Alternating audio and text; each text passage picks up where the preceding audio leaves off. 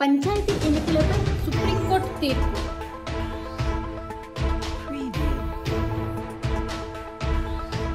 ప్రజలకు మేలైన పాలనే అందిస్తారా?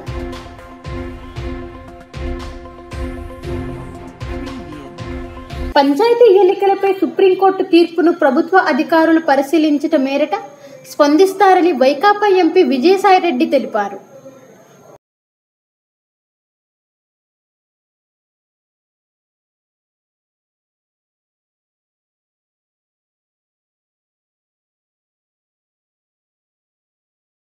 రెండు గంటల పాటు అనుసరించవలసినటువంటి వివిధ అంశాలపై వి- విధి విధానాలని దిశానిర్దేశాన్ని చేయడం జరిగింది.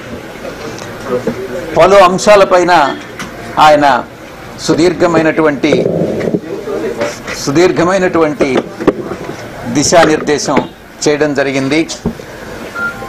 పోలవరం ప్రాజెక్టు విషయంలో ఇప్పుడున్నటువంటి బకాయిలు వెయ్యిన్ని ఐదు వంద thousand five hundred and sixty nine crores ఆ బకాయిల్ని కేంద్ర ప్రభుత్వం నుంచి రాబట్టే విషయంలో రివైజ్డ్ ప్రాజెక్ట్ కాస్ట్ అంచనా ప్రాజెక్ట్ అంచనా వ్యయం యాభై ఐదు వేల ఆరు వందల యాభై ఆరు కోట్లు.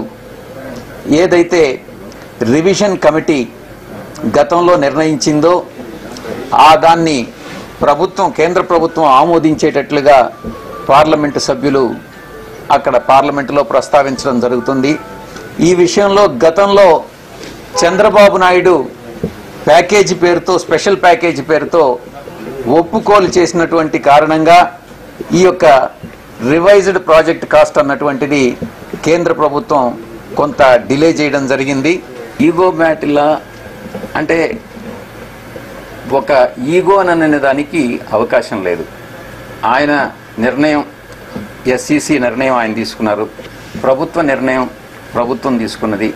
ప్రభుత్వం తీసుకున్నటువంటి నిర్ణయానికి కారణాలను కూడా వివరించడం జరిగింది.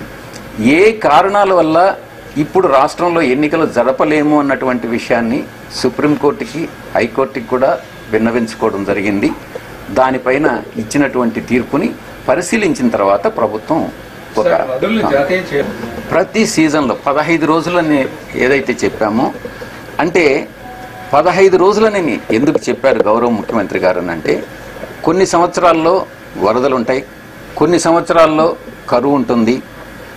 ప్రతి పదహైదు రోజులకి ఎంత క్వాంటమ్ ఆఫ్ వాటర్ వస్తుందో ఆ వాటర్ని ఆ యొక్క రాష్ట్రాల ఆ జియోగ్రాఫికల్ డిస్టెన్స్ ఎంతైతే ఉందో దాన్ని బట్టి ఆ దామాషాలో షేర్ చేసుకోవాలి అన్నటువంటిది పార్టీ ప్రజలకు మేలైన పరిపాలన అందిస్తామని చెప్పి పన్నుల భారాన్ని మోపుతున్నారని విశాఖ టీడీపీ పార్లమెంట్ అధ్యక్షుడు పల్లా శ్రీనివాసరావు మండిపడ్డారు.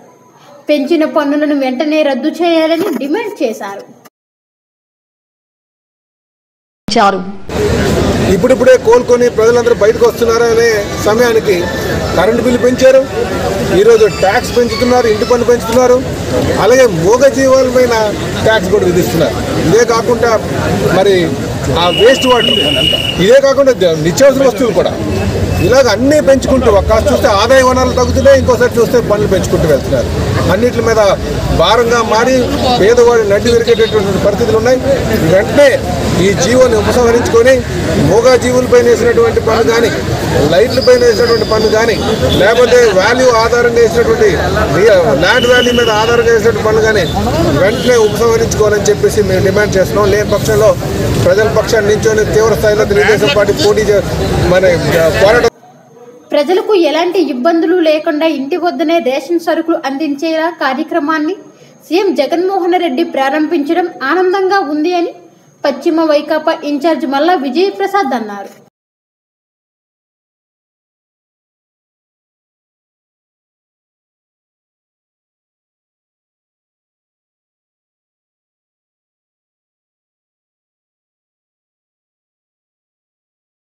ఈరోజు పశ్చిమ నియోజకవర్గంలో యాభై రెండు యాభై ఆరు యాభై ఏడు. ఎనభై తొమ్మిది తొంభై తొంభై ఆరు తొంభై రెండు. ఈ ఏడు వార్డులో ఉన్నటువంటి రేషన్ సరుకుల్లో రేషన్ సరుకుల్ని ప్రజల దగ్గరికి అందివ్వాలన్న ఆలోచనతో వాహనాలు ఏవైతే జగన్మోహన్ రెడ్డి గారు ప్రారంభం చేశారు మరి వెస్ట్ కాన్స్టిట్యున్సీలో సుమారు పదిహేను వెహికల్స్ ఈరోజు ప్రారంభం చేయడం చాలా ఆనందంగా సంతోషంగా ఉంది.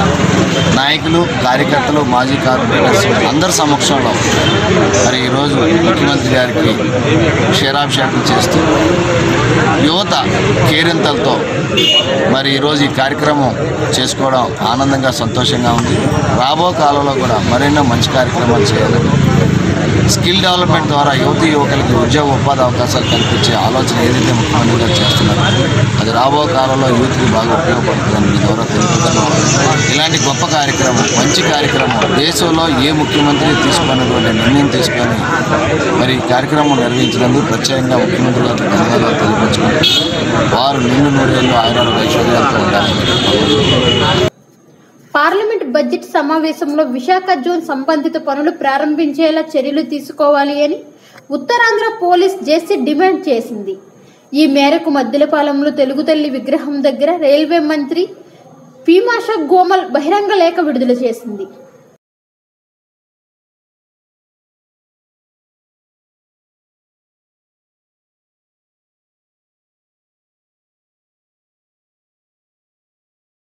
సంఘంలో నాయకులు బొబ్బాది అప్పారావు గారు నీలకంఠ గారు అమీర్ గారు నీలయ్య గారు దానయ్య గారు ఆది నౌకరాజు పెద్దలందరూ ఆధ్వర్యంలో విశాఖ. ఓకే. ఈరోజు మద్దిలపాలెం తల్లి ఆధ్వర్యంలో రైల్వే ప్రాజెక్టుల మీద రైల్వే సమస్యల మీద జేఏసీ ఆధ్వర్యంలో కేంద్ర రైల్వే శాఖ మంత్రి పీయూష్ గోయల్ గారికి బహిరంగ లేఖ విడుదల చేయడం జరిగింది. దశాబ్దాల కాలంగా పెండింగ్లో ఉన్న విశాఖ రైల్వే జోన్ అంశాన్ని ఇమీడియట్గా పరిష్కరించాలని గతంలో ప్రకటించిన రైల్వే జోన్ పనులు వెంటనే ప్రారంభించాలని నిధులు మంజూరు చేస్తూ పరిపాలనాపరమైన ఉత్తర్వులు కూడా ఇవ్వాలని చెప్పి మేము కోరుకుంటా ఉన్నాం. ఇప్పటికీ కూడా రైల్వే పరంగా ఒడిశా తెలంగాణ అధికారుల పెత్తనమే నడుస్తుంది తప్ప తెలుగు అధికారులు కానీ తెలుగు నాయకుల మాట ఎక్కడ చెల్లుబాటు కావడం లేదు. రైల్వే ప్రాజెక్టులు రైల్వే సమస్యలు పరిష్కరించాలని చెప్పి వినతులు విజ్ఞప్తులు ఇస్తా ఉన్నా. ప్రతి బడ్జెట్లో కూడా అన్యాయం జరుగుతా ఉంది. కనీసం ఈ పార్లమెంట్ సమావేశంలో ఈ బడ్జెట్లోనే న్యాయం చేయాలన్నది మా డిమాండ్. అడగకపోయినా ఇవాళ గుజరాత్కి అడగకపోయినా సరే బుల్లెట్ ట్రైన్లు కానీ మెట్రో రైళ్ళు కానీ రైల్వే ప్రాజెక్టులు కానీ రైల్వే యూనివర్సిటీలు కానీ మొత్తం అన్ని అక్కడే కేటాయిస్తా ఉన్నారు. కానీ తల్లిని చంపారు బిడ్డను బతికించారని చెప్పిన ఆంధ్రప్రదేశ్కి మాత్రం విభజన బిధిలో హామీ ఉంది. హైకోర్టు సుప్రీంకోర్టులో కేసులు ఉన్నాయి. ఏపీకి న్యాయం చేయాలని డిమాండ్ ఉంది. ప్రజల్లో సెంటిమెంట్ ఉన్నా సరే బీజేపీ ఏపీ సమస్యలు పట్టించుకోవడం లేదు. కనీసం ఈ పార్లమెంట్ సమావేశాల్లోనా ఏపీకి ఇచ్చిన హామీలన్నీ? తిరుపతి ఎంపీ స్థానాన్ని అన్ని రాజకీయ పార్టీలకు కేటాయించాలి అని ఏపీ పేగు వెంకటరావు అన్నారు. ఎస్సీలను ఏబిసిడి గ్రూపులుగా వర్గీకరించాలని గత ఇరవై ఆరు సంవత్సరాలుగా ఆంధ్రప్రదేశ్ ఉమ్మడి రాష్ట్రం నుంచి నేటి వరకు కూడా పోరాటం చేస్తున్న విషయం ఆంధ్ర రాష్ట్ర ప్రజానికానికి తెలిసిందే. ఈ రోజున ఎస్సీలను ఏబిసిడి గ్రూపులుగా వర్గీకరించడం లక్ష్యంతో ఈరోజు ఉత్తరాంధ్ర జిల్లాల సమావేశం కూడా మరి పెద్దాడ రమణ గారు ఆధ్వర్యంలో ఇక్కడ ఒక సమావేశం కూడా మేము నిర్వహించబోతా ఉన్నాం.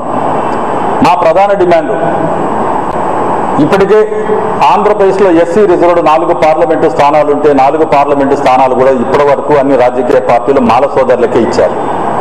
కాబట్టి ఇప్పుడు తిరుపతిలో బై ఎలక్షన్ జరుగుతూ ఉంది. మరి మేము అన్ని రాజకీయ పార్టీలు తెలుగుదేశం జనసేన కాంగ్రెస్ బీజేపీ వైఎస్ఆర్సీపీ అదేవిధంగా సిపిఎస్ సిపిఎం పార్టీలు కూడా మేము ఒకటే డిమాండ్ చేస్తా ఉన్నాం. పేరుపోగు వెంకటేశ్వరరావు మాదిగా పిలుపు మేరకు ఈరోజు ఇక్కడ పత్రికా విలేకరుల సమావేశం ఏర్పాటు చేయడం జరిగింది. ముఖ్య ఉద్దేశం ఏంటంటే అరగారిన మాదిగుల కోసం చైతన్యవంతం చేయాలన్న ఆలోచనతో ఈ రాష్ట్రంలో అన్ని విధాలుగా మాదిగులు అరగదొక్కే విధంగా ఉన్నారని.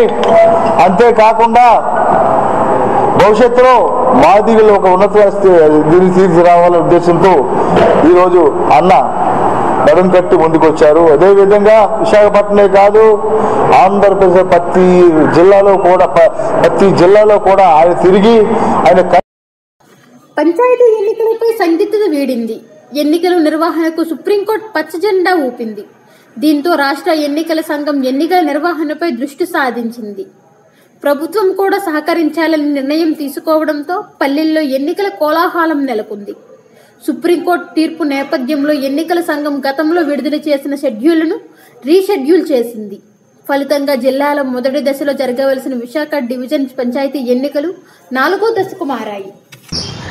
రేపేమో గణతంత్ర దినోత్సవం కాన్స్టిట్యూషన్ మనకి వచ్చి పంతొమ్మిది వందల తొంభై యాభైలో వస్తే ఆ వేళ నుంచి కాన్స్టిట్యూషన్ నమ్ముకొని మనం అందరం చేస్తున్నాం.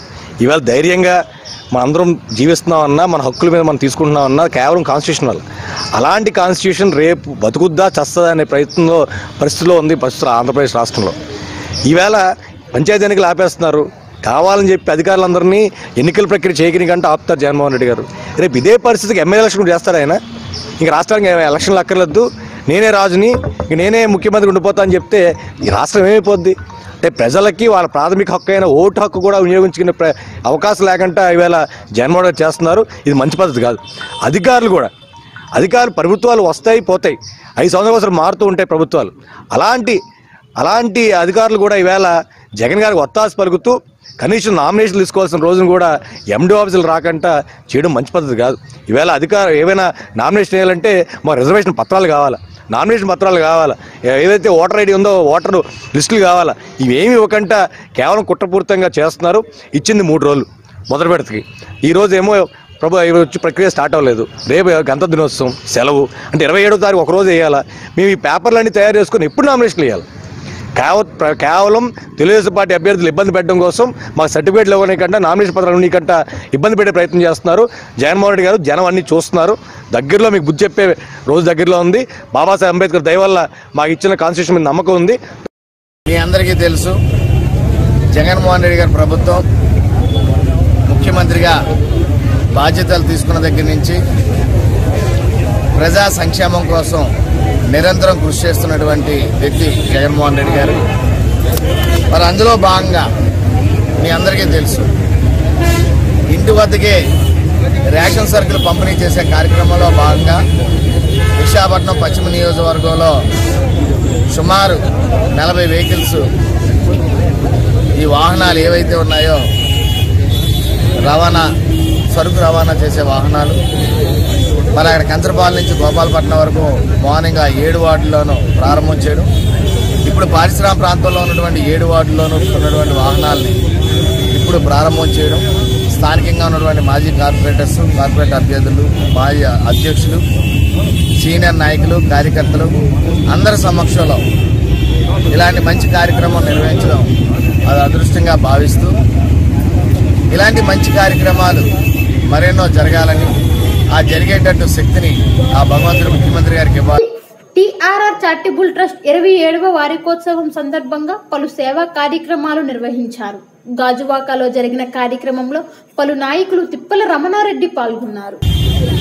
ఒక కార్యక్రమాన్ని పురస్కరించుకొని కానీ భర్త కానీ లేకపోతే ప్రతి మంత్ అవని కానీ ఏదో ఒక కార్యక్రమాన్ని కార్యక్రమం ద్వారా వాళ్ళ ఫాదర్ కార్యక్రమం ద్వారా అతనితో అతనికి నచ్చిన డేట్లో కానీ ఏదో ఒక సేవ ప్రజలకి చేస్తున్నాం గన్నారం అతని దేవుడు కూడా ఇంకా ఎక్కువ మందికి ఇంకా ఎక్కువ చేయాలని ఆయుష్ని ఆస్తిని రెండింటి కూడా ఇవ్వాలని మనం అందరం కోరుకుంటాం చేస్తున్నాం.